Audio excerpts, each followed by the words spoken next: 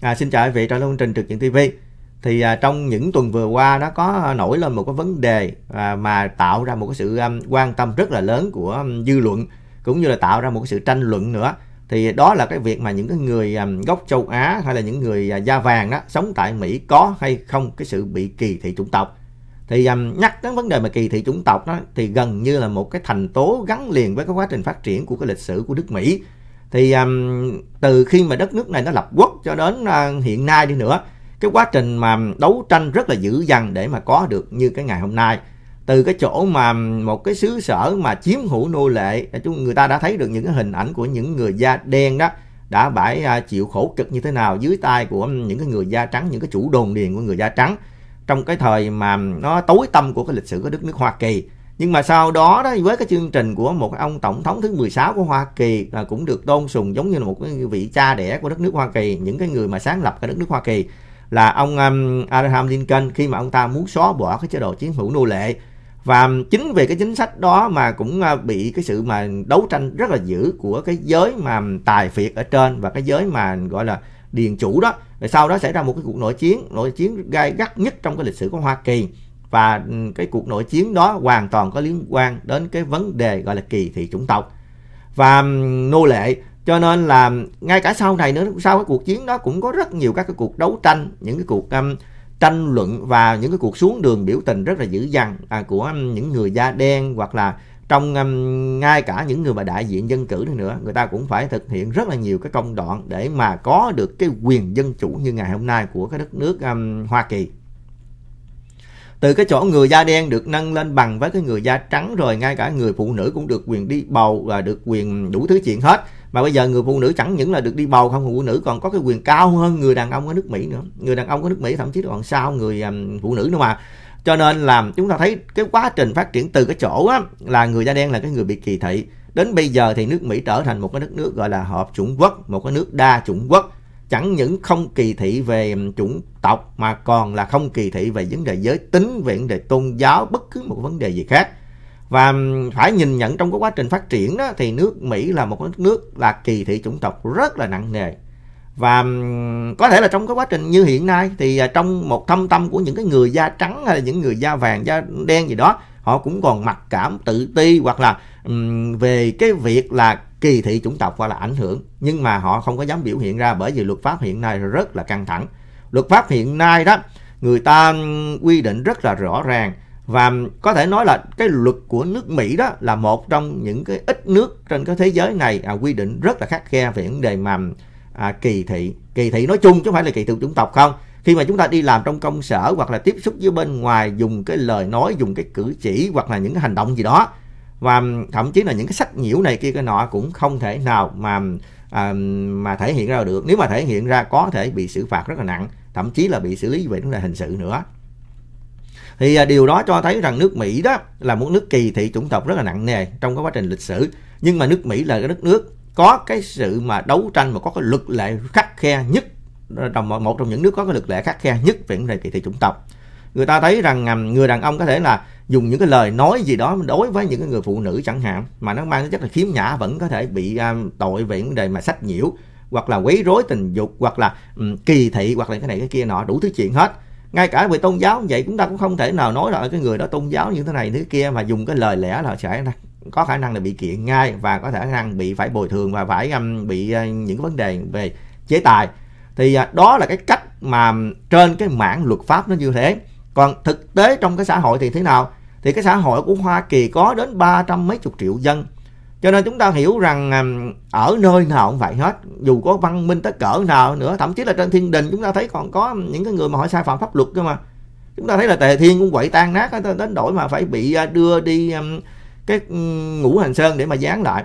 Thì chính vì những cái điều đó đó cho thấy rằng một cái đất nước nó đến cỡ nào vẫn phải có những cái thằng khùng, thằng điên những cái kẻ phạm pháp và những cái kẻ mà họ vi phạm pháp luật họ kỳ thị họ nó có này kia nọ. Thì um, vấn đề là tại sao trong cái thời điểm hiện nay đó có một số những cái tổ chức nhất là những số tổ chức của cái người Mỹ gốc Việt đó thì um, cũng lao vào các cái vấn đề này. Họ hô hào um, đưa ra các cái chiêu bài như là đoàn kết rồi kêu gọi phải um, gom lại những cái người à, da vàng với nhau và chống các cái vấn đề về kỳ thị chủng tộc họ dịnh lên và đưa, dẫn chứng một số các cái trường hợp như là những người đàn ông da vàng đi chạy bộ bị à, những cái người Mỹ nào đó họ xô ngã hoặc là à, họ giật đồ và những cái lời lẽ của một số các cái học sinh sinh viên gì nó nó tác động với nhau là nó à, nó có mang chất là mạ lị với nhau này kia, cái nọ. Thì chỉ dừng lại ở mức độ như vậy thôi, mà nói rằng cái vấn đề mà kỳ thị chủng tộc hoặc là cách đây hơn một tuần đó thì xảy ra một cái cuộc mà nã súng ở um, ba cái tiệm massage ở bên uh, gần cái thành phố Atlanta của cái tiểu bang Georgia. Thì um, chính là ông Joe Biden là của đảng Dân Chủ đến nơi đó cũng uh, kêu gọi là chấm dứt các cái vấn đề mà kỳ thị chủng tộc. Trong khi ông ta chưa biết vì về cái chưa biết gì về cái nội dung của cái cuộc um, cái cái cái vụ án đó thì cái người mà bị bắt họ khai ra như thế nào? Họ khai họ cũng không có vấn đề gì um, về kỳ thị chủng tộc hết nhưng mà khi nhìn thấy những cái nạn nhân đó là 6 người là gốc châu Á thì dĩ nhiên là vô một cái tiệm của người châu Á cơ mà. Những cái thành viên những cái người làm việc ở trong cái tiệm đó là đa phần là là người châu Á hết.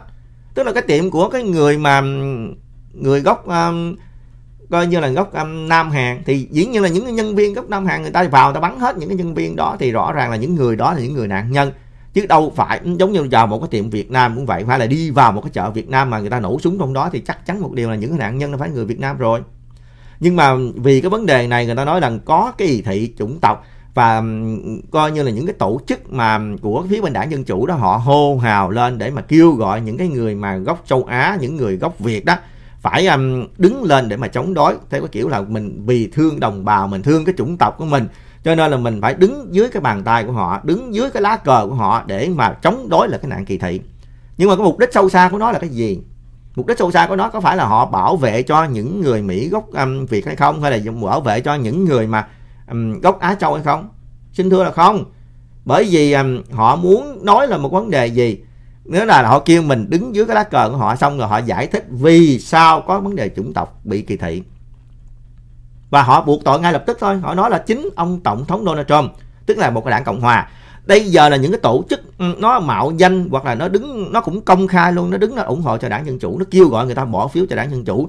Bây giờ nó đứng ra nó kêu gọi về vấn đề đoàn kết, về vấn đề bảo vệ chủng tộc. Nó đưa ra một cái ừ, lý thuyết cao siêu hơn để mà cho đánh động vào những cái lòng của những cái người mà ừ, mỹ gốc việt đó theo cái kiểu là mình phải thương đồng bào cho nên là mình à, lao vào mình à, làm cái con sen cho nó mình đi làm những cái gọi là diễn viên quần chúng cho nó. Mình múa mai mình đứng ra mình vỗ tay cho những cái lời phát biểu của nó. Và cuối cùng thì mình rơi vào cái thế mình phải đi bỏ phiếu cho nó. Đó là cái cách mà cuối cùng của nó đó muốn như vậy thôi. Tức là cái đảng dân chủ nó muốn tạo ra một số các cái tổ chức. Và những cái tổ chức nó mang danh nằm dưới những cái đảng phái này đảng phái kia và nó lợi dụng á, à, vào cái lòng của người dân để cuối cùng á, là chi?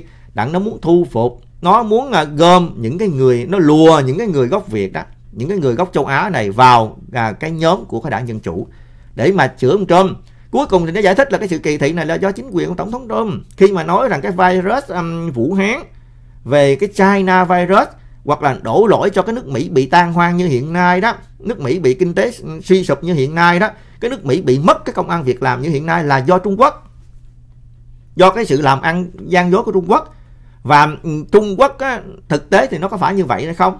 Chúng ta thấy là rõ ràng trong cái quá trình của lịch sử um, điều đó người ta cũng thấy rằng cái kinh tế của nước Mỹ đó đã quá lệ thuộc vào đất nước Trung Quốc. Và chính bởi thời tổng thống Obama và nước Mỹ đó bị mất việc làm rồi mất luôn các cái vấn đề mà sở hữu trí tuệ những cái điều đó có những cái bản án có những cái cơ sở hết và nhiều cái doanh nghiệp của Hoa Kỳ phải la làng lên những cái điều đó. Bị um, ép buộc trong vấn đề mà chuyển giao công nghệ một cách hết sức là bất công bằng. Và nước Trung Quốc là một cái um, cái đất nước đã làm cho nước Mỹ đó bị thiệt hại rất là nặng nề. Không chỉ là thiệt hại dừng lại ở chỗ là mỗi một năm thâm thủng bốn năm trăm tỷ Mỹ Kim. Mà nó còn có um, cái sự thâm thủng nhiều hơn cái số đó mỗi năm. Nếu mà tính cái giá trị đầy đủ của cái sự mà mất cấp vì um, cái sở hữu trí tuệ trong khi cái đám mà đảng dân chủ đó, nó gần như nó đuôi mù, nó không thấy được những cái điều đó. Bởi vì sao nó nó không muốn thấy? Là bởi vì nó với Trung Quốc là một. Nó là có làm ăn với đất nước Trung Quốc. Là nó là sân sau của cái tụi Trung Quốc. Và cái đám tài phiệt này và cái đám mà, gọi là múa mai, múa minh họa cho cái đám mà đảng dân chủ đó, nhất là cái đám trong cái gốc Việt, thì rõ ràng nó nhầm cái mục đích đó là nó nó nó nâng, tăng bốc thôi và núng lùa những cái người gốc Việt đi vào cái điều đó hết thì bây giờ đó thì chúng ta thấy là trong tuần trước một cái sự mà nã súng ở bên Atlanta làm chết mấy người gốc Á. Thì um, hôn hài ngay lập tức thôi chúng ta đi, đi xuống đường đi đi um, chống cái sự kỳ thị chống cái um, không chấm dứt cái việc mà căm ghét những cái người gốc Á này kia cái nọ. Trong khi um, cái kẻ mà họ trực tiếp họ bắn đó thì nó khai nó không có liên quan đến vấn đề mà kỳ thị hết. Thậm chí nó nói là đó là những cái việc làm gì? Họ nó ghét những cái người hoạt động mà mang cái sự trá hình của vấn đề mà ừ, mà mãi dâm. Họ thậm chí là cái có lẽ là nó nghi ngờ hay nó có cái chứng cứ gì đó nó cái cơ sở này nó tin rằng những cái tổ chức này những cái cơ sở massage này đó làm ừ, làm mang tính chất là có thể là à, là buôn bán tình dục chẳng hạn hoặc là gợi dục gì đó các thứ nó liên quan đến những vấn đề đó.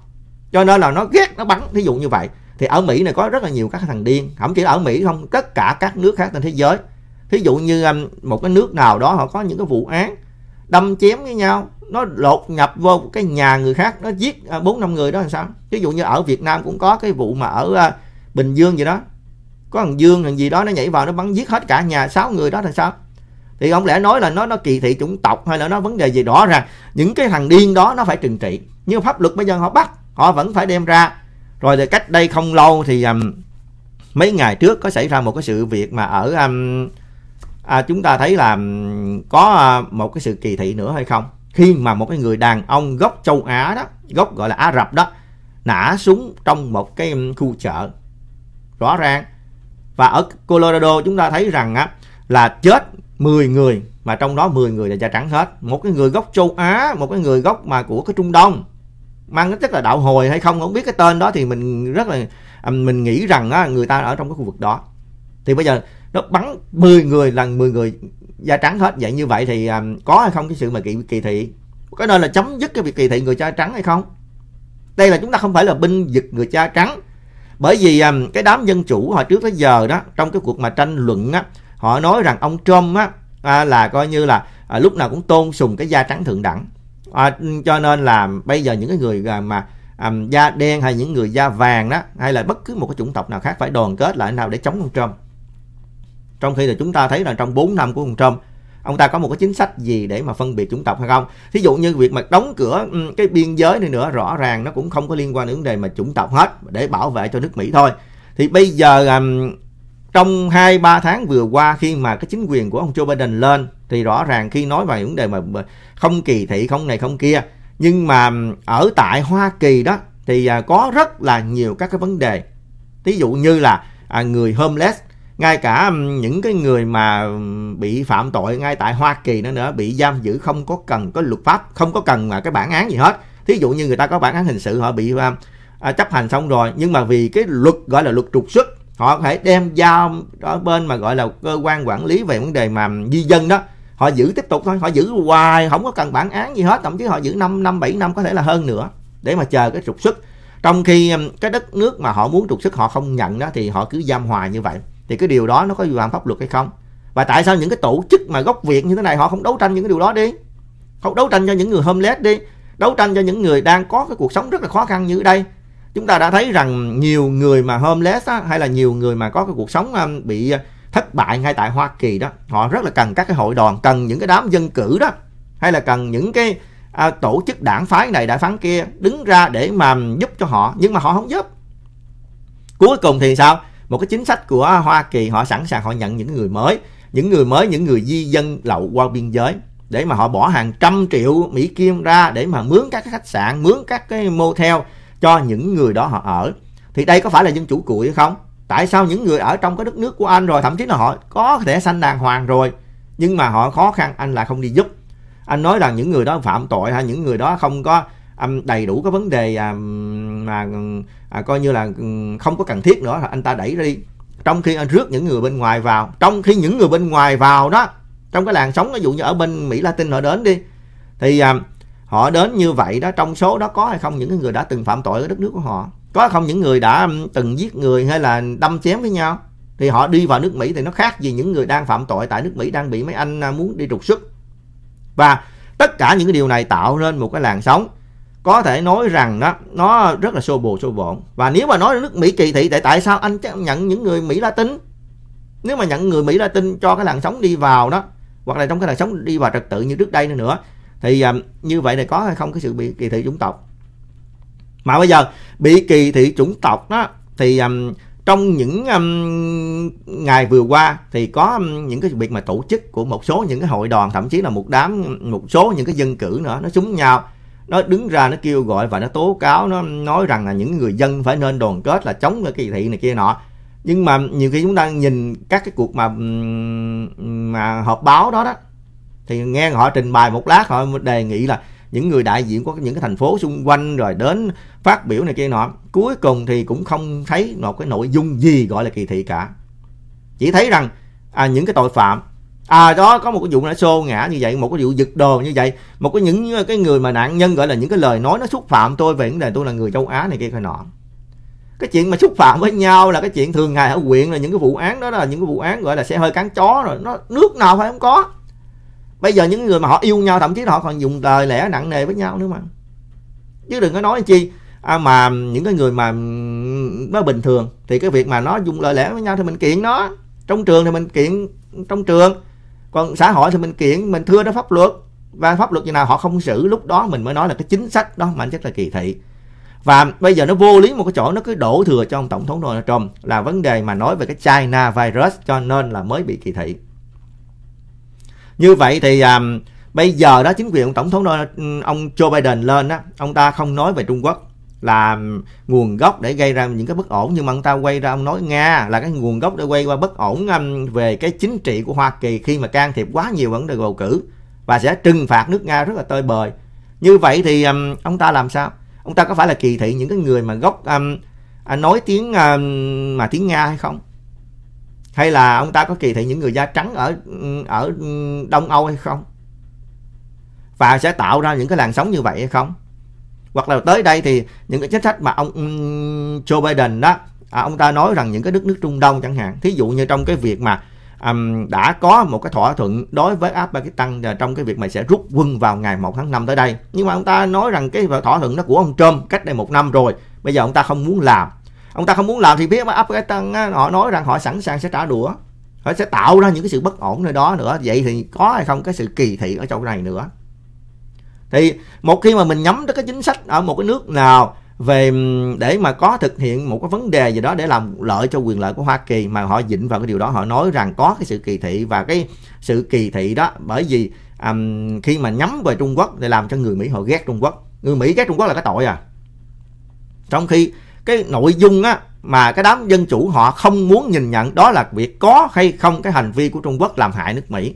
Họ không dám nhìn nhận cái sự thật đó. Mà họ cứ nói rằng um, khi mà bà một cái đám mà người Việt đó một cái đám mà những cái tổ chức người Việt nó nằm trong cái tổ chức ABC chúng ta mua chưa muốn nói là nó có đảng nào nha. Những cái đảng đó rõ ràng là cái đảng dân chủ. Và những cái đảng đó là những cái nhóm đó nó đi theo cái phò tá cho những cái um, cái đám dân chủ để mà kiếm phiếu cho cái đảng dân chủ. Và nó kêu gọi quần chúng đứng dưới cái lá cờ của nó để mà làm múa minh họa cho những cái cái ngu đồ của nó. Và những người Việt đó có khi phải um, hoặc là nó đi tiến xa hơn nữa rồi nó mở uh, um, nó kêu gọi là cần phải um, tổ chức này tổ chức kia. Và có khi nó kêu gọi là quyên tiền cũng không chừng nữa. Trong thực tế cũng đã xảy ra rồi nhiều cái trường hợp lắm. Mà những cái nhóm này đó khi mà nó kêu gọi lúc này đó thì chúng ta thấy trước kia không bao giờ nó lên tiếng hết.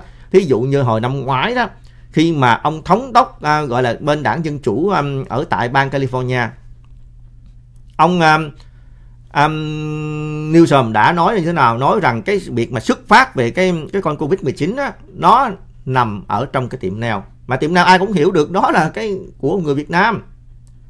Đã đây mới là cái sự kỳ thị rất là dữ dằn đây nè. Xuất phát đến Mỹ đầu tiên là ở Cali mà rõ ràng Cali là nằm ở trong tiệm nail. Như vậy là cái giới mà người Việt đó trong một năm qua đã bị kỳ thị đó. Kỳ thị rất là nặng nề đó. Ai thấy cái người Việt đó họ cũng sợ chứ và là người làm neo họ khinh khi cái nghề neo chứ. Thì những cái điều đó tại sao cái đám này nó không lên tiếng này những cái tổ chức tào lao thiên địa này ba bốn cái tổ chức gì đó hôm rồi là lên tiếng lên án về um, những cái người Việt mang cờ vàng đi vào um, tòa quốc hội của Hoa Kỳ là chống đối trong cái ngày 6 tháng Giêng này kia đủ đủ cái chuyện hết. Tại sao trước đó những cái đám này nó không lên tiếng? Bởi vì sao? Bởi vì nó theo đảng dân chủ. Nó không có dám mà đụng tới những cái đám dân chủ của nó hoặc là trong thời gian gần đây là có cái phong trào người ta muốn lật đổ cái ông thống đốc này tại sao cái đám này nó cũng lên tiếng nó ủng hộ đồng bào mình ở đây đi cấm tất cả các cái tiểu thương ở đây không có được làm ăn không có được mở cửa làm cho người ta bó tay bó chân hết trong khi mấy anh là tổ chức à, nào là người Việt, người Mỹ, người gốc Mỹ đồ nào, người cấp tiến, cấp lùi và đủ thứ chuyện hết. Nhưng mà cuối cùng thì sao? ủng hộ kêu gọi người dân đi bỏ phiếu cho cái đảng Dân Chủ mà mở miệng ra một cái là đổ thừa ông Trung như thế này, đổ trường cho đảng Dân Chủ, đảng Cộng Hòa như thế kia. Để cuối cùng là gì? Mục đích sâu xa nhất vẫn là gì? Và mục tiêu phục vụ chính trị. Chứ cái đám này nó cũng không có phục vụ cho cái người đồng hương cả. Không có phục vụ cho người da vàng hay người gốc Việt gì cả. Chẳng qua là làm tay sai cho cái đảng Dân Chủ thôi. Làm tay sai cho cái muốn để mà lùa dân chúng, để mà muốn mua phiếu cho người Việt thôi. Mà nó sử dụng những cái trò trò ma mị, nó lừa đảo người dân để cho người dân hiểu rằng có cái sự kỳ thị ở đây. Nhưng mà ngược lại, góc độ khác chúng ta thấy như sao? Cái cộng đồng người Việt ở bên đây đó, lẽ ra cần một cái sự à, phát triển, cần một cái sự đoàn kết và cần một cái sự lớn mạnh. Và lẽ ra những cái hội đoàn nó thành lập ra lẽ phải để giúp đỡ những cái đồng hương với nhau. Công ăn việc làm như thế nào, cái sự hội nhập của người ta thế nào? Ví dụ như một số những cái tổ chức nó mang tính là cấp tiếng cấp lùi gì nhưng mà nó mở miệng nó nói người, người già ở Mỹ nhiều khi không có hiểu tiếng Việt rồi không có hòa nhập cho nên thành ra nghe những cái đài báo tiếng Việt á ừ, à, người một số những cái youtuber hay những cái bài báo người ta giải thích về vấn đề à, này kia nọ không đúng không đúng thì mấy anh có giúp đỡ người ta được nâng cao vấn đề đó hay không? Nâng cao tiếng Mỹ cho người ta đi cho người ta hội nhập nhiều hơn đi và giúp cho người ta có việc làm có ừ, cái sự mà à, hạnh phúc ở nơi nước này đi không có, nhưng mà nó để muốn xào chảy nó muốn làm lộn xộn thôi, chứ không phải nhằm cái mục đích đó. Và bây giờ nó tung tin ra như vậy đó, quan trọng lắm, những người lớn tuổi đừng có nên ra đường nữa, đừng có nên đi một mình nữa. Làm cái gì cũng phải rất là cẩn thận nha, phải nhìn trước, nhìn sau này kia nọ. Những cái lời kêu gọi đó là cái gì? Có phải là chính mình muốn kỳ thị người ta không? Thí dụ như mình tố cáo người ta là à, có những cái trường hợp bị kỳ thị chúng ta nên thấy rằng à, tôi lên xe bus á, thì tôi à, thấy rằng những cái người à, da trắng người da đen gì đó họ nhìn tôi họ lem lem họ biết họ tránh tránh xa xa họ họ ngại mình này kia nọ. Còn bây giờ mình kêu gọi người dân của mình đồng hương của mình á, là nên cảnh giác là đi à, đừng có đi ban đêm ban hôm hoặc là cũng phải uh, cẩn coi có người nào họ đến gần mình kia nọ. Tiếng là tiếng chúng ta là, là phải nhìn người khác mà chúng ta là phải người là kỳ thị người khác. Ví dụ lên xe bus thì mà theo như cái lời dặn ồ không biết các ông ờ, ơi, hội đoàn đó ông nói như vậy thôi bây giờ mình lên ở cái thằng da trắng nó đứng gần mình ghê quá thôi mình né né nó chút. Rồi thằng da đen ơ mình né né nó chút. Vậy thì ai kỳ thị ai? Chính chúng ta mới tự kỳ thị chúng ta. Và và những cái lời mà tuyên bố như vậy những lời kêu gọi như vậy là cái gì? Mang đến chất quan mang cho quần chúng. Là những nguyên cộng đồng này để ra rất là yên ổn. Bây giờ một cái bà cụ một cái ông cụ à, buổi chiều chiều đi ra những cái công viên để tập thể dục bây giờ ghê quá thôi con ơi tao má không dám ra nữa hay là bố không dám ra nữa con ơi. Bây giờ năm sáu giờ chiều là phải ngủ ở nhà rồi không có dám ra. Ra ghê quá thôi rồi mấy này nói đó cộng đồng mình nói đó ghê quá đó. Mấy ông đó cái bà đó bên à, à gì dân cử đó rồi nói đâu có sai đâu ghê lắm á không được đâu. Không dám ra đâu con ơi thôi đi chợ à, con chở má đi chứ còn con má điên mình không được. Phải súng nhau đi chung chung lại chứ để ghê quá nước mỹ rồi mất an toàn ở nước mỹ bây giờ nó tan nát hết trơn rồi. Nó bất an lắm đó xả súng nó thấy không? Mấy da mấy da trắng nó bắn mấy da vàng nó quá trời đó. Đó thì cái vụ đó nó đem ra nói hoài. Nó lợi dụng cái đó nó đem ra nó nói. Nhưng mà những cái trường hợp khác một cái thằng da vàng nó bắn 10 da, da trắng không nói. Sao vậy? Có cái tiêu chuẩn kép gì kỳ da của mình thì được những người khác thì thôi. Rồi ở góc độ khác thì sao? Họ chống cái Việt Nam chống gọi là chống cộng sản Việt Nam. Nào nói là nước Mỹ rất là tốt nước Mỹ này kia nọ nhưng mà bây giờ họ đang vạch ra họ nói là nước Mỹ giống như là đang hoang nước Mỹ là tan nát hết. Và nước Mỹ bây giờ phải xây dựng lại. Và cái sự tan nát này là do ông Trump. Bây giờ chỉ có ông Joe Biden mới là xây dựng lại thôi. Và họ cứ um, thô hào những cái điều đó. Thì đó những cái điều đó chúng ta thấy rõ ràng là sao? Tức nghĩa là sao? Họ vừa um, khen nước Mỹ là hạng nhất nhưng mà họ lại đó là làm cho nước Mỹ xấu đi. Và xấu đi một cách hết sức là kỳ cục. Nó không có khoa học gì cả. Và xấu đi á trong cái dạng là nó chỉ tốt khi mà nằm trong cái đảng dân chủ thôi. Đó cái vấn đề mà nó khốn nạn là nằm ở chỗ đó. Và cái cái vấn đề mà nó không khoa học là nằm ở chỗ đó. Đây là cái điều mà chúng ta muốn nói không phải là muốn chỉ trích chưa muốn chỉ trích một cái cá nhân nào chưa đến lúc để mà lôi một cái tổ chức nào lên đây hoặc là một cái cá nhân nào để mà nói thẳng về điều đó. Ngay cả trong những người mà à, trong cái giới dân cử nữa. Tránh đi bớt đi những cái chuyện mà gây hoang mang cho những cái quần chúng những người mà họ đang sống ở Hoa Kỳ đó họ phải à, chịu rất là nhiều các sự khó khăn rồi. Khi mà xa cái đất nước đi rời bỏ cái um, cái quê hương của mình, ra bên đây thì ai cũng hai cái bàn tay trắng hết. Rất là hiếm những cái người mà có mang những cái tài sản qua đây. Chỉ là những người mà sau này đi cái diện ODB đó, những cái điều mà bảo lãnh rồi đó, thì người ta có cái điều kiện ở trong Việt Nam khi mà qua đây người ta mới mang được ít cái tiền của qua để mà mua nhà, mua cửa. Không thể dịnh vào là cái nước Mỹ này nó có 90% trăm à, các cái tài sản của um, cái nước Mỹ nó nằm trong tay cái người da trắng chỉ có 10% là nằm trong các cái sắc dân khác thì mình nói rằng cái sự kỳ thị, cái điều đó không có đúng. Nước Mỹ nó phát triển nó từ đầu nó đã là người da trắng rồi mà. Và những người da vàng, những người da đen, những người Mỹ Mỹ coi như là những người à, Mỹ Latin đó, họ đến đây là sao? Trong hai tháng vừa qua có hơn 130.000 người tràn sang biên giới của Hoa Kỳ. Những người đó họ mang bao nhiêu tài sản sang Hoa Kỳ? Họ đi đến bằng tay không cơ mà. Bây giờ họ muốn chiếm bao nhiêu các cái phần trăm trong cái tài sản của Hoa Kỳ? Dĩ nhiên là khi mà mình đi đến bàn tay không và mình thành lập nên như hiện nay. Trong cái cộng đồng người Việt Nam vẫn có những cái tỷ phú mà. Tỷ phú Hoa Kỳ đàng hoàng, có rất là nhiều người làm chủ, rất nhiều người thành công. Và cái giới y bác sĩ hay là giới kỹ sư nó nhiều như trấu vậy đó. Cái đó không phải là thành công, không phải là hòa nhập hay sao? Và chúng ta xuất phát điểm quá thấp thì chúng ta phải có những cái điều kiện để mà phát triển chứ. Tại sao mà gây ra một cái sự hoang mang nói rằng những cái sự kỳ thị như thế này, như thế kia? Và cái sự mà chiếm hữu của những cái người da trắng hay gọi là da trắng thượng đẳng đó nếu mà da trắng thượng đẳng tại sao có một cái dần da đen một cái ông da đen làm tổng thống của Hoa Kỳ bây giờ đang có một cái người da vàng gốc da vàng nữa đang làm phó tổng thống bà Harris người gốc Ấn Độ.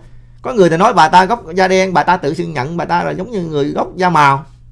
Thì da màu gì cũng là màu mà hãy không? Phải trắng là màu rồi. Còn um, cái phía dưới thì quá nhiều rồi từ cái giới mà à, bên um, thượng nghị sĩ ngay cả trong tòa tối cao của Hoa Kỳ ông Thomas á, người da đen ngay cả bên um, thượng nghị sĩ ngay cả bên hạ nghị sĩ ngay cả các thống đốc bang chỗ nào mà không có người da đen chỗ nào mà không có người da vàng. Bây giờ chưa có người da vàng làm tổng thống thôi chứ tất cả đều có. Chúng ta thấy là bên tư lệnh Thái Bình Dương tư lệnh um, quân chủng nào cũng có ngay cả người Việt gốc Việt cũng có bao nhiêu người nằm ở trong tướng tá chứ không. Bây giờ um, nhiều người á, thì nó chống rằng ở nước Mỹ là rất là kỳ thị. Nước Mỹ không có cái gì tan nát này kia. Cái giới cộng đồng người Mỹ ở đây ví dụ như các các bạn ở trong Việt Nam đó, khi mà chống lại um, cái à, cái xứ Mỹ đây ví dụ như mà um, theo những người mà mang tiếng là gọi là dư luận viên chẳng hạn khi mà đối chọi với Hoa Kỳ những cái luận điệu bên đây thì nói rằng à, nước Mỹ tan hoa không có ra gì hết thì thật ra cái cách nhìn như thế cũng rất là khiếm diện. Chúng ta phải hiểu rằng trong cái quan hệ Việt Mỹ như hiện nay đó, nó có một cái sự hòa đồng với nhau, chẳng những về vấn đề về kinh tế, vấn đề về giao lưu, về văn hóa nữa. Và rất nhiều người Việt của chúng ta qua đây với những cái chương trình gọi là trao đổi sinh viên, với những chương trình mà trao đổi về hợp tác, với những cái sự cộng tác ngay cả trong vấn đề quân sự, vấn đề đào tạo quân sự của tại Hoa Kỳ do dành cho những cái lực lượng của Việt Nam nữa. Và sinh viên của Việt Nam đến đây học và có hay không cái sự bị kỳ thị và một khi chúng ta chửi Mỹ đó, thì cũng phải dựa theo những cái cơ sở nào đó mà chửi. Dĩ nhiên chúng ta không muốn á, không phải là những dùng những cái lời lẽ để mà binh vực cho cái nước Mỹ. Chúng ta phải nhìn với vấn đề trung thực. Rõ ràng nước Mỹ nó cũng còn rất là nhiều các sự sai trái. Chính vì cái sự sai trái, người dân Mỹ họ mới đấu tranh. Chúng ta thấy đấu tranh rất là quyết liệt. Nó cãi nhau từng cái vấn đề một, từng cái cái sự nhỏ nhoi hết. Khi mà nói rằng những cái người gốc Việt đó là những cái tộc neo hay là những người gốc Việt, là những người sống bên vỉa hè của là những người mà sống um, bị bỏ rơi cái xứ sở Hoa Kỳ là những cái lời nói tầm bậy những cái lời nói đó là mạt sát những cái người um, đồng hương của chúng ta. Nếu mà họ là cái um, công dân thứ hai của Hoa Kỳ thì tại sao họ ra ứng cử được? Họ sẽ ra họ làm các cái chức vụ như chức vụ kia được. Họ không cần phải cơ cấu. Họ không cần phải um, phải mà được ai nâng đỡ cả. Rõ ràng á, họ vẫn có thể tham gia được. Nhưng mà vấn đề chúng ta muốn tố cáo rằng cái chính thể của Hoa Kỳ hay là những cái hoạt động hoạt náo của cái đám mà mang danh đó là dân chủ đó, đấu tranh này kia nọ, là nó che đậy, nó đứng đằng sau, nó làm giấu đi những cái cái mục đích sâu xa, nó ẩn giấu ở bên trong. Và nó nhằm vì cái quyền lợi riêng tư của phe nhóm, cái đó mới là điều chúng ta vẫn đấu tranh thôi. Chúng ta muốn vạch mặt họ những cái điều đó. Nó đang lùa, nó làm cho người dân của Hoa Kỳ, những người gốc Việt đó, hoang mang để làm lợi cho nó để mà mình sợ sệt quá mình phải gom lại. Ờ đứa mà phải lắng nghe những cái người đó họ nói. Ghê quá bây giờ phải làm như thế nào? Họp báo đó khi mà nói những cái họp báo những cái người mà họ lên họ phát biểu nói um, trước cái tình trạng như thế này chúng ta đấu tranh thì chúng ta cần phải làm sao? Có gặp một cái sự kỳ thị như vậy các quý vị phải phải gọi ngay cảnh sát liền. Chúng ta phải um, nhờ cái lực lượng này lực lượng kia để mà can thiệp. Ủa nếu nói như vậy thì nó khác gì đó những cái vụ mà tội phạm thông thường. Tôi bị giật vỏ đồ tôi cũng phải kêu cảnh sát chứ không lẽ tôi kêu ai?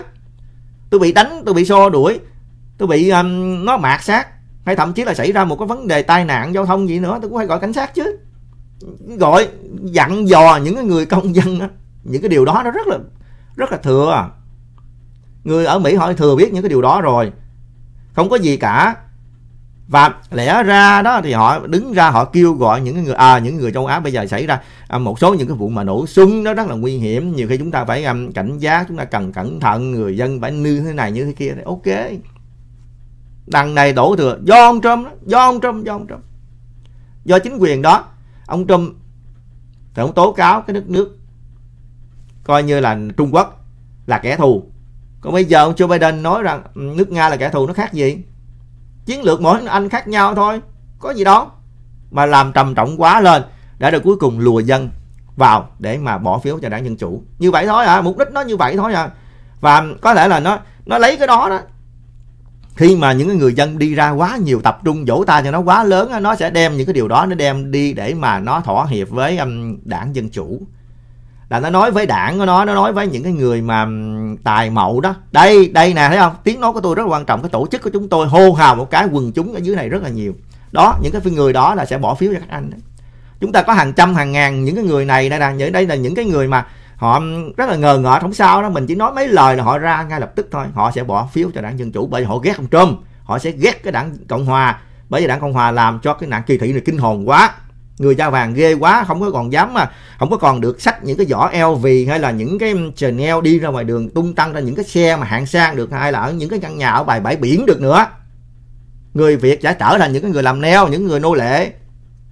Có đúng như vậy hay không? Thì tất cả những cái điều này chúng ta thấy rằng nó đang rơi vào một cái thảm trạng, mà những cái thảm trạng này có lẽ phải cần phải cảnh báo. Đó là cái điều mà chúng ta muốn nói ngày hôm nay, và hôm nay chỉ nói đến mức độ đó thôi và sẽ trở lại cái vấn đề này sẽ đi chi tiết hơn đối với từng cái hội đoàn hay là từng cái cá nhân nếu như mà chúng ta ừ, nhận cái sự phản bác của họ. Đó là cái điều mà chúng ta muốn nói. Và bây giờ chúng ta xin chấm dứt. Rất là cảm ơn quý vị đã nghe. Xin à, kính chào.